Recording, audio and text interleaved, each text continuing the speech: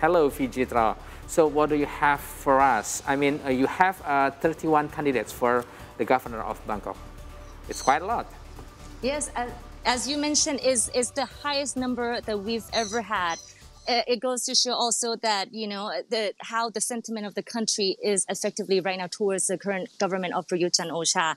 Um, and today, despite the rain, um, it's been raining on and off all day.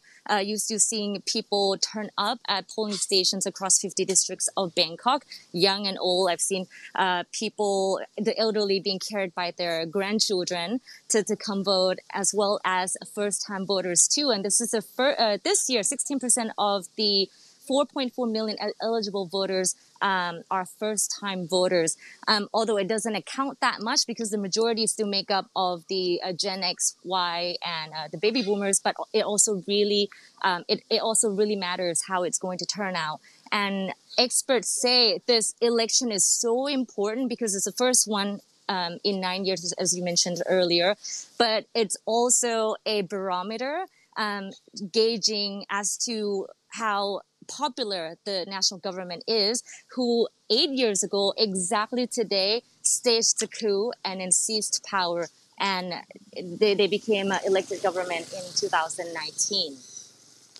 Right, Fijitra, so we would like to know who is the strongest candidate between the 31 uh, candidates. Do you have any information about that?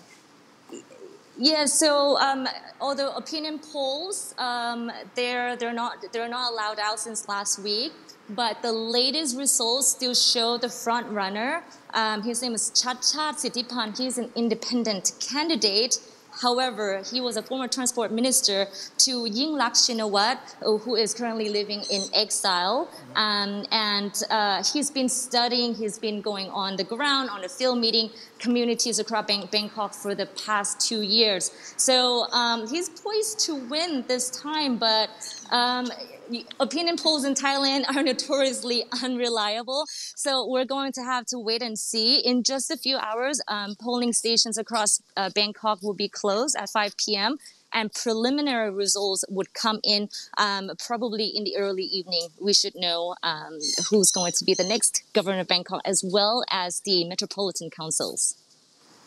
All right. So Fijitra, one last question for me. So have you have you given your vote and how was your feeling as Bangkok's resident, giving your vote after um, nine years? I'm, I'm, I didn't get to vote because I'm, I'm actually not from Bangkok originally, oh, right. but um, I, you know, I, I live and work here, so you know, I do have that bond with Bangkok, and mm -hmm. you know, it's it's very exciting to see how excited people are to, especially the first-time voters, but also the, the older generation too, because they haven't exercised their democratic rights for like so many years, almost a decade, right? So right. for me to see that, it's, it's incredible. Um, but we'll have to wait and see, you know, whether this vote turnout would be as expected as the um, election commission uh, of 70% or not. Now, I'm in a small slum community.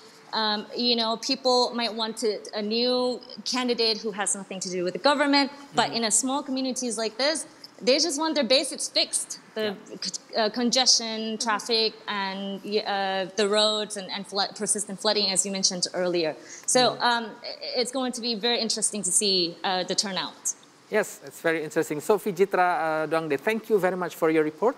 Please stay safe and uh, yes, thank you very much. So that was Fijitra Duangde reporting from Bangkok, Thailand. Thank you both.